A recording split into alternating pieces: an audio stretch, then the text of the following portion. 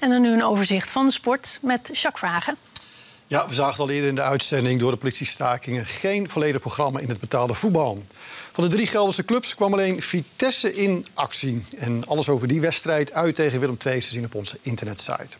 De twee promovendi, NEC en de Graafschap, zouden dus ook in actie komen. Maar hun wedstrijden worden later gespeeld deze week. En we kijken even naar het programma.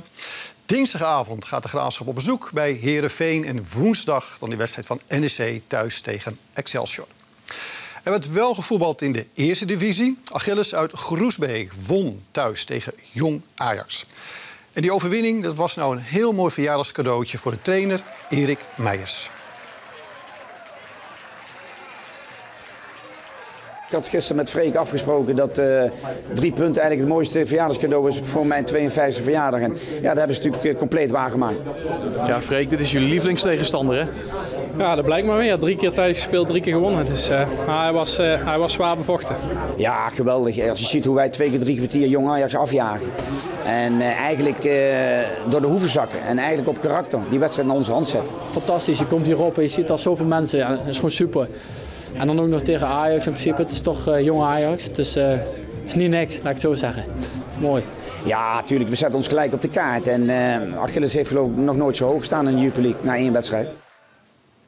Ja, want door die overwinning staan ze natuurlijk bovenaan. Nog vier andere ploegen. Volendam, Emmen, Dordrecht en Helmond Sport. Ook zij wonnen hun eerste wedstrijd. Volgende week gaat Achilles op bezoek bij Fortuna Sittard. En dan gaan we wielrennen. Morgen begint namelijk de Eneco Tour. Dat is een etappekoers door Nederland en door België. En een van de favorieten voor de titel is Wilco Kelderman. Hij komt uit Banneveld en vorige maand maakte hij zijn debuut in de Tour de France. En dat viel niet mee. Wilco Kelderman is eindelijk bijgekomen van zijn toerdebuut. Ja, dat was wel drie weken afzien. Uh, niet, uh, niet, ge, ja, niet gepresteerd wat ik gehoopt had. Dus uh, dat was wel, wel wat minder, maar op zich een mooie tour gehad. Zijn volgende doel is de Eneco Tour, die morgen begint. Dat is wel een belangrijke wedstrijd, daar wil ik heel graag heel goed rijden. En uh, daarna heb ik nog uh, Canada, twee wedstrijden, World wedstrijden. En nog wat kleine klassiekers. Ik rij uh, Arnhem rijd ik ook nog. Dus er zijn nog genoeg leuke wedstrijden. En over anderhalve maand wil Kelderman ook in actie komen op het WK. Ik hoop uh, de tijden te rijden, maar we zien wel. Uh, ik heb uh, de bondscoach nog niet gesproken, dus ik weet verder ook niet wat, wat zijn plannen zijn. Je bent de nationale kampioen. Ja, ja maar je weet nooit.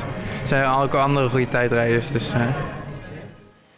Ja, Welke Kelderman uit Banneveld, dus Nederlands kampioen tijdrijden. En dat WK, dat is uh, in het najaar in de Verenigde Staten, in Richmond om precies te zijn. En de Eneco Tour, die etappekoers, die begint morgen in Drachten in Friesland.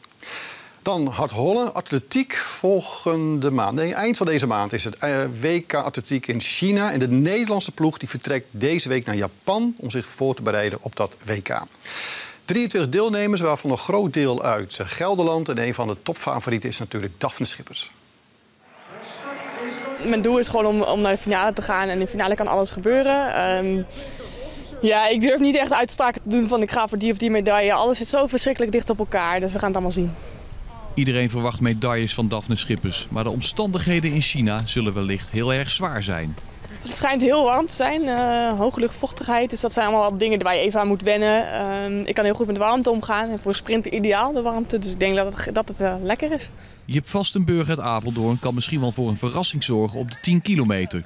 Ja, ik hoop toch wel voor mijn doen op dit moment mijn beste wedstrijd die ik waard ben uh, kan laten zien. En dan een hele goede laatste ronde kan lopen. En tijdens het EK vorig jaar werd Vastenburg al ingezet als verslaggever bij de marathon. ik vind het best wel mooi en ik praat best wel makkelijk en uh, veel. Dus, uh, je hebt verstand van atletiek, dat is ook wel makkelijk. Ik, de marathon is toch wel mijn ding, dus ik ken ook wel vaak, vaak die meiden wel. Dus ja, dat is leuk om te doen. Ja, je hebt Vastenburg. Wie weet staan ze over een paar jaar wel hier. Dit was het Sportoverzicht. We gaan het zien. Jacques, dankjewel.